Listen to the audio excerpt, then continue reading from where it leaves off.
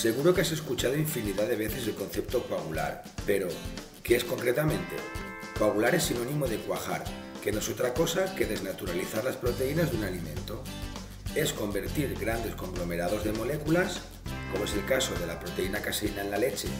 o la proteína o albúmina de la clara de huevo, que estando estas presentes en sus propios líquidos, se aglutinan o precipitan en forma de sólido gelatinoso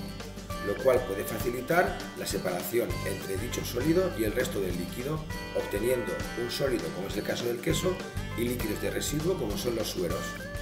Esta reacción química se puede producir por calor, enfriamiento, por acción de enzimas o por la adición de ácidos como el limón, alcoholes y otras sustancias similares. Si ponemos como ejemplo la coagulación de la leche para obtener queso, diremos que es una coagulación enzimática al incorporar a la leche la enzima renina, presente en los estómagos de los rumiantes lactantes, baja el pH a un valor ácido de aproximadamente 4,5. Este hecho, unido a una temperatura suave de aproximadamente 28 grados y a un tiempo de reposo, genera dicha conglomeración o precipitación de la caseína, o lo que es lo mismo, una coagulación del medio, la obtención de la cuajada, que es el paso inicial para elaborar queso.